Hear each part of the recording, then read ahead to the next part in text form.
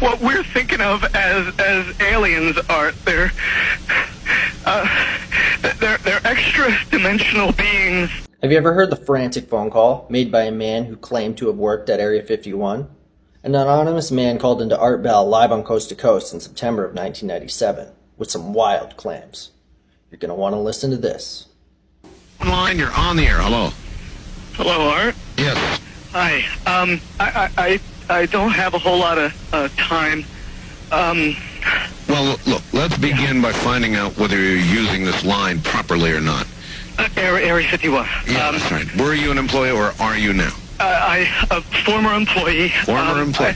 I, I, I was let go on a medical discharge about a week ago, and and I, I've kind of been running a, across the country. Um, oh man, I don't know where to start. They're uh, they're, they're gonna um, they'll triangulate on this position really really soon. So you Um, can't spend a lot of time on the phone. Uh, So give us something quick. Okay, um, um, okay, what, what we're thinking of as, as aliens are, they're, uh, they're, they're extra dimensional beings that an earlier precursor of the, um, space program made contact with. Uh, they, they are not what they claim to be.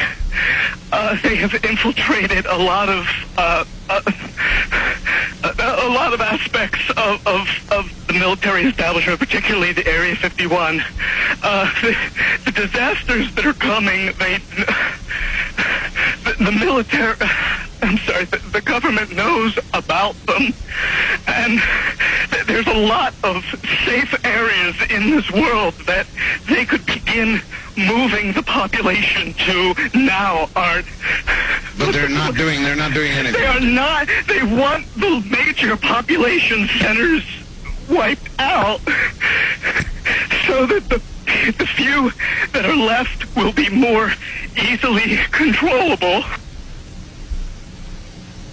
Discharge. He lost all transmit capability on this end.